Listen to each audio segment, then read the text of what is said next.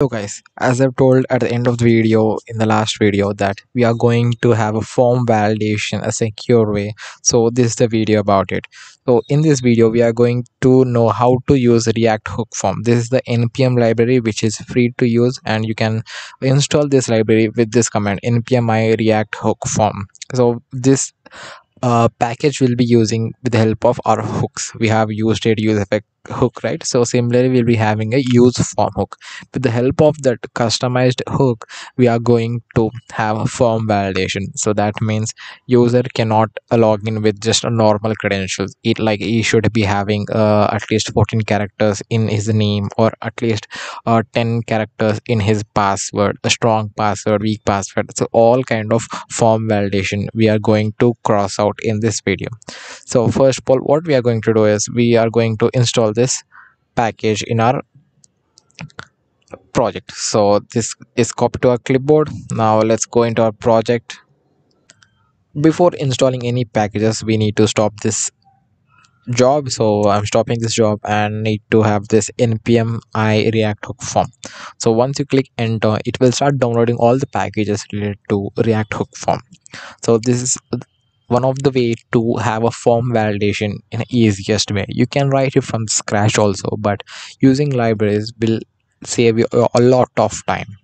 So once the installation is completed i'm going to show you how to use this react hook form and do the form validation while registering. So um, what it is is when entering a password or when entering any kind of fields the user will be having a certain kind of instruction. That is a user should be having at least a set of characters of name and password also. You should be having one uh, uppercase lowercase special character and uh, as well as a number. So all this comes under form validation. So if you provide this kind of features in your application then that means you're have building a strong application with the security. That is user cannot just log in or register with the normal credentials like which which are weak credentials.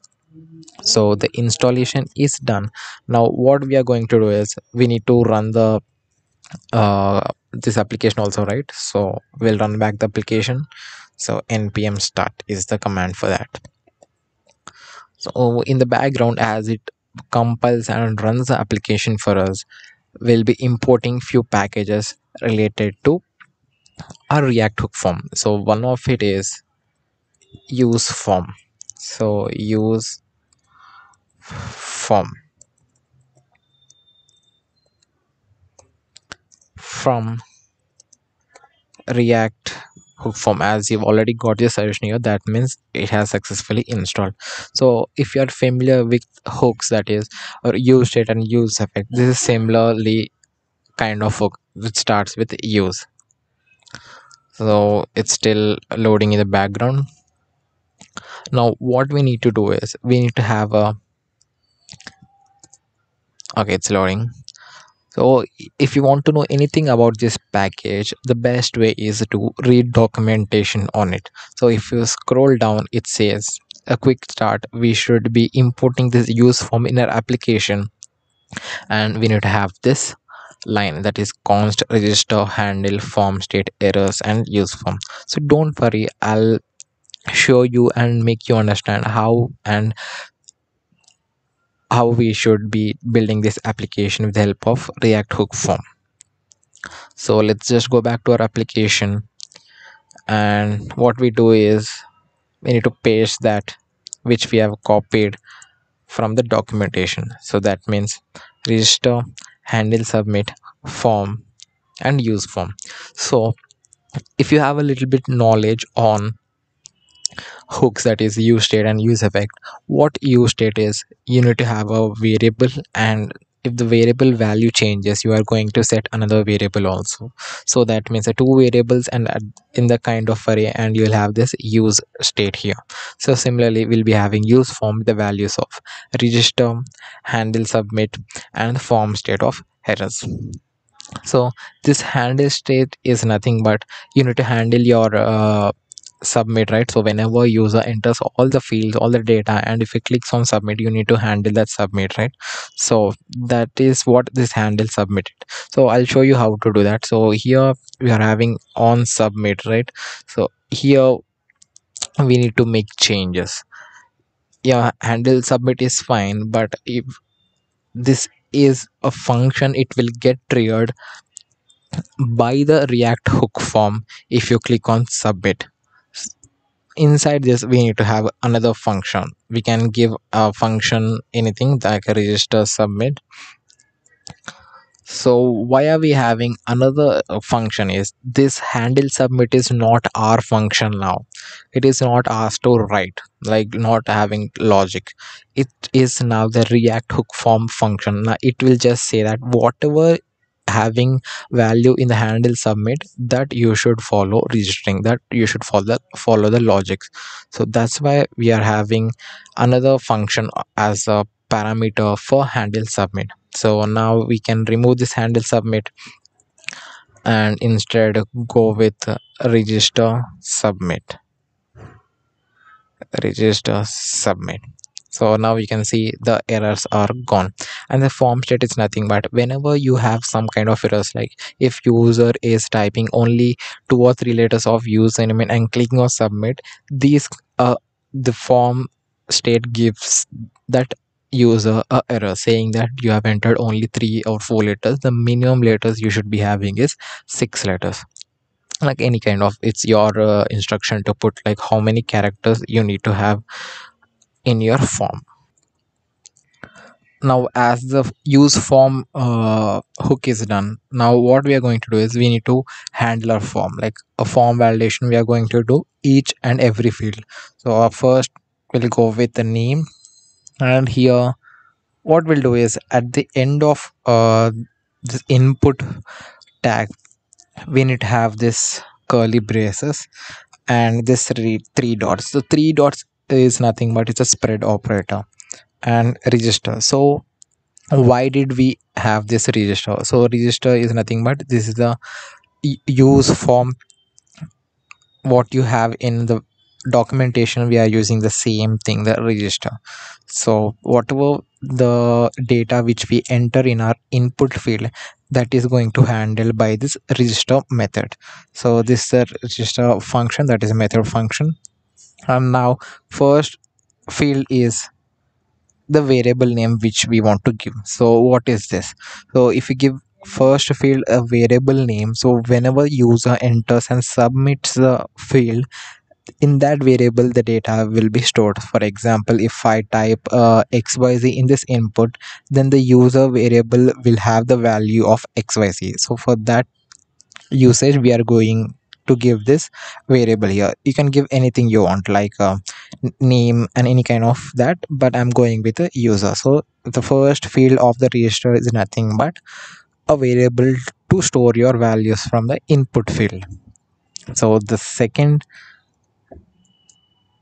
second parameter here is it's like optional parameter but i'm going to give is the required. So required should be true uh, I've said that the second parameter is optional parameter, right? So it's optional because if you don't give any kind of second parameter also, it justly uh, runs your application. But as we told at the start of this project that we are going to have the form validation like it should be have certain kind of securities like minimum length of the name minimum length of the password so we are going to give the second parameter also and we are having this min length property here. So min length minimum username should have six characters. That is six the string should be of the six digits. And after that we are going to uh, if the user has not uh, entered six a character string or the user has submitted without entering uh, any kind of data in the field it should handle handle the error also right? So for that kind of purpose we are using another property from here called this errors. So what we'll do here is errors dot and user. It should say from which uh, variable you want to give the error. So if the user entered his name we need to give from user only right? So errors dot user if the errors dot user is there like if there are any kind of errors in the user variable then we need to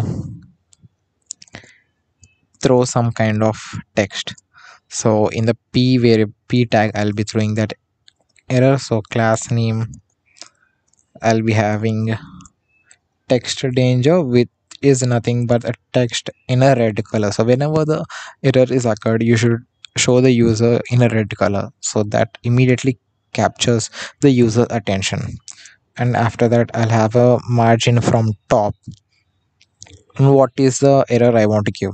I should throw a error name should be of at least six characters. So this error the input we have written and the error also we have handled if the input doesn't go in our way. So similarly we'll have a email address password and the confirm password field also will be having the similar kind of form validation. Here after required we need to have this object kind of thing with three dots that is a spread operator and register method. So inside this register method first we need to give our variable name which should store this input. So first will be of email. I'm going with the email name. So this email variable will store whatever the user enters in this input field. And the second parameter is optional parameter which i'm going to give required as true and let's just get this down as we are going to have another parameter also. And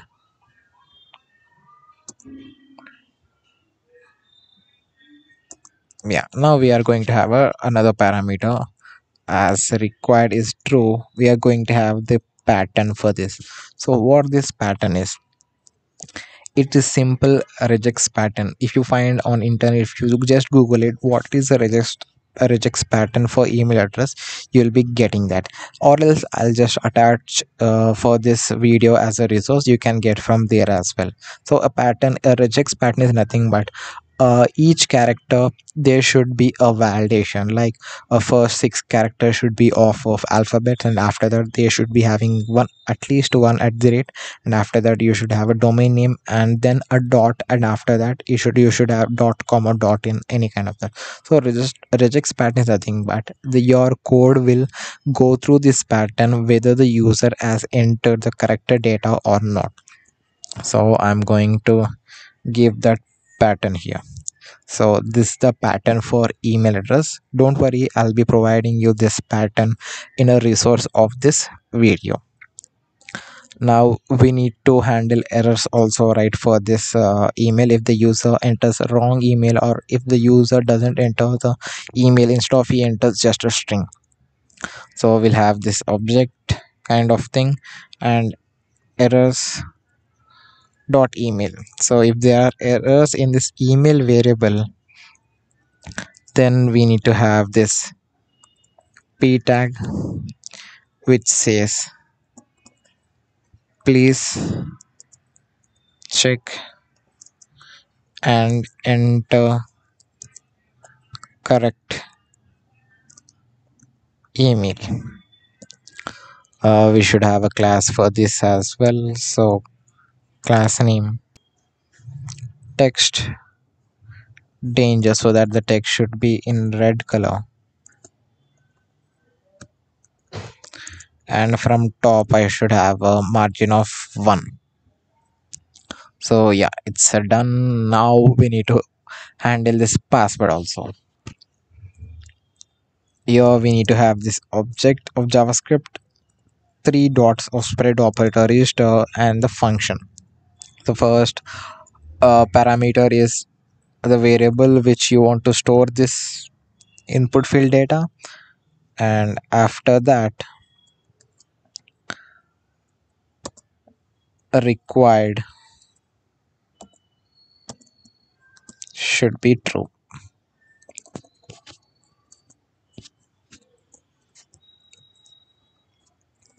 And then after i'm going to have this pattern similar to email we'll be having a pa- pattern for password also. Like uh, for a strong password for weak password or okay password. So there are many patterns available on the google. If you want to search you can search and get it your own pattern also. Uh, like it should at least have a one special character one uppercase one lowercase and at least it should be having this many digits and also with a numerical one. So it is a combination of all the instructions and restrictions this pattern will be created. So i'm to paste that pattern here. And we need to handle the errors. So the errors dot password. If the any kind of errors are there in the password then i need to get this displayed on the website that it should have. Password should be of length. Password be of length 6 to 15 so why how it's know the password should be of 6 to 15 because if you see in this pattern i said the password should be of at least 8 so if you enter above 8 digits it, it is okay. So that's why i gave 6 to 15 and after that i need to have another instruction also uh, saying that it should have a uppercase a lowercase and a numerical also. So what i'll do is as this accepts uh, only one uh, tag we need to have a div here. So i'll provide a div here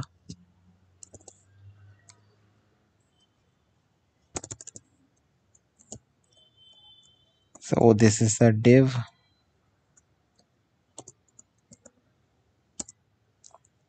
And inside this div I'll have this. Paragraph tag. So now it won't throw me any error. So wherever you want you need to have at least only one parent component. And here I'll have another p tag which says should contain at least one uppercase lowercase number and a special character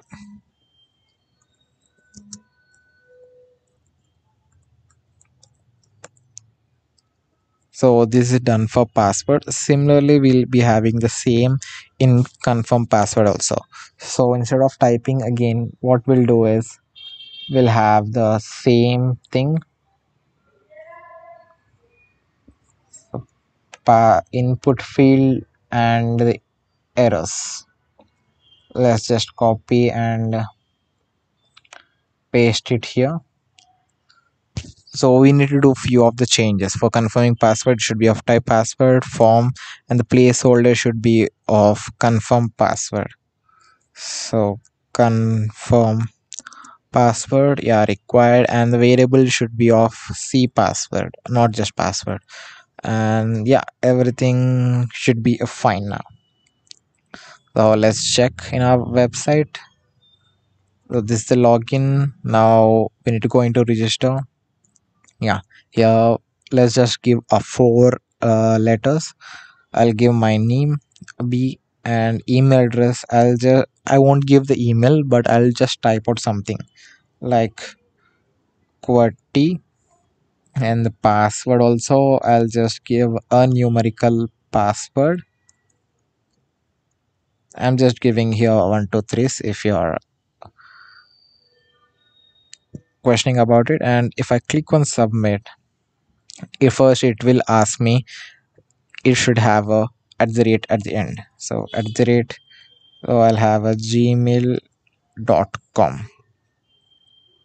so if i click on submit then it says name should be of at least six letters.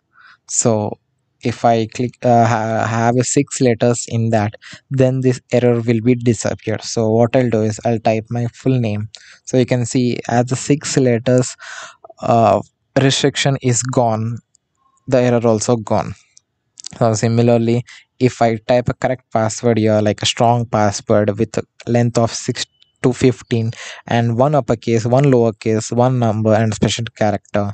So let me give that strong password. So you can see that error is gone now.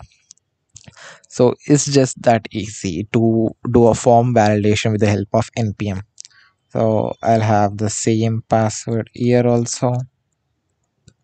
And if i click submit now no errors and also it won't get submitted because we haven't written any kind of logic in our code. So once our database is connected we once we create our models and database is connected and we write anything in the backend then we are going with submit logic. So as we have seen if we type anything and click on submit we are getting text in black color. So what i'll do is i'll have this in class name. Text. Danger. Similar thing for all the other p tags so i'll just copy paste for everything. Text danger. Text danger. Text danger so now whenever we enter so for example we'll re refresh and enter the values again. So i'll give just abhi and my email address. Password i'll just give some random password which is not a strong one. And now when i click on submit it should throw me errors in red text. I click on submit so you can see it throwing me error in red text. So this of form validation is done. So until user having strong credentials you won't be registering the user. So in upcoming videos we'll see how to do how to connect the backend with the front end and also registering our user